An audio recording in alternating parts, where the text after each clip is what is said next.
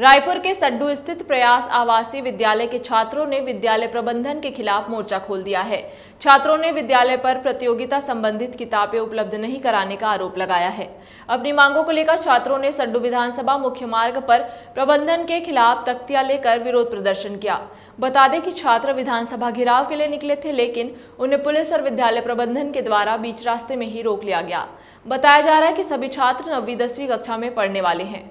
छात्रों ने प्रबंधन पर यह भी आरोप लगाया है कि किसी प्रकार की शिकायत किए जाने पर छात्रों को निष्कासित किए जाने की धमकी भी प्रबंधन के द्वारा दी जाती है। स्वच्छ पानी की भी सुविधाएँ नहीं है वहाँ बारह टॉयलेट एलर्जी बच्चे को हो गया है। बारह टॉयलेट है बस।